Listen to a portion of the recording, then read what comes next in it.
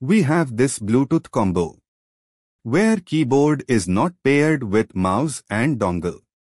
In this video, we will show you the steps to pair keyboard and mouse with dongle.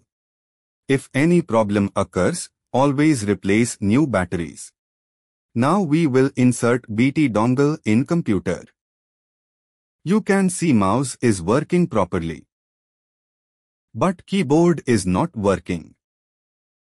Now we will pair this keyboard with mouse and dongle.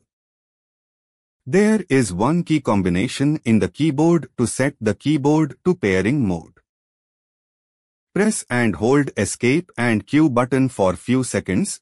The light on the battery indicator will start blinking. Now we will pair the keyboard with dongle and mouse. Remove the dongle from the computer. Press and hold the escape and Q button and insert the dongle in the computer. Once the pairing is done, blinking will stop. You can see that keyboard is paired now. Same way if your mouse is not paired or changed. We will pair the mouse with dongle.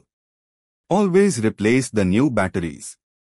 To pair the mouse with the dongle, we will insert the dongle into computer and start pressing the left and right keys continuously.